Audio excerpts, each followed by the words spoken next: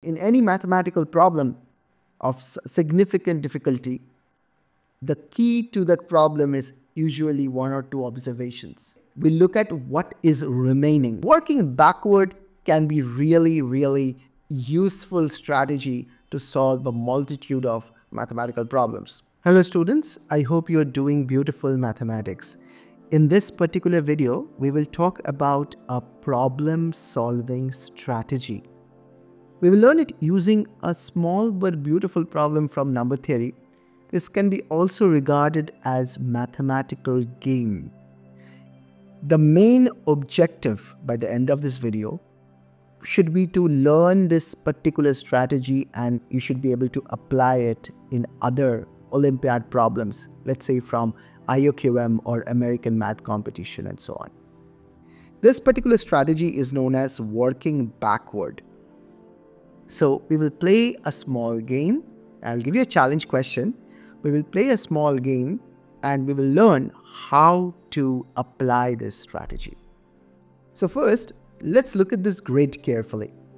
There are nine numbers in this grid and you can see that there is a starting point and there is a ending point.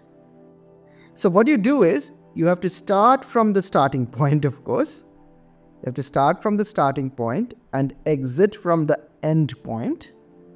And you have to find a path so that you can go from one box to another from the start to end. But there is a condition. What is the condition? The condition is this that the sum of the boxes that you go through should be 50. The sum should be 50.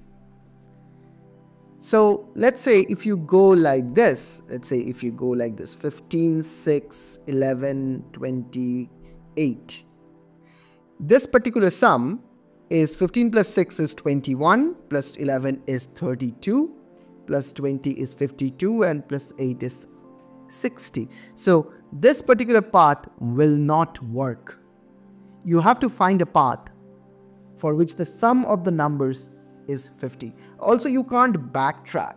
If you once go through a particular door, that door sort of closes. So you can't backtrack. The question is, can you find a path from start to end such that the sum of the numbers in the boxes that you go through is 50? This is just a game, you can easily solve it by trial and error. It's not very difficult either. But the main objective for us is to learn that strategy of backward or backtracking. So how do we do this? So first we have to observe a couple of things and in any mathematical problem of significant difficulty, the key to that problem is usually one or two observations. In this problem, you immediately realize that when whatever you do, whichever path you go through, you have to go inside the 15 box. So 15 must be there in your path. And you have to exit through the 8 box. So again, 8 must be there in your path. So 8 plus 15 is 23. So working backward, you have to have 23 in your 50, in your sum. Okay, so now what do we do? Well, as I said, we look at what is remaining. So from 50, if 23 is taken away, we are left out with 27. So I hope you're understanding what I mean by backtracking. I'm starting from 50 and sort of seeing that how much I have already done, whichever path I take. And then I'm saying, okay, this much is left. Okay, so how do I make 27? Now the remaining part is a bit of trial and error, but you can easily figure it out. For example, in this particular picture, you can see that if you go and do, okay, maybe I can use a different color. If you do 8 plus 12 plus 10, that's 18, plus 9, that's 27. So you need a 27 and that's how you get 27. That's your path.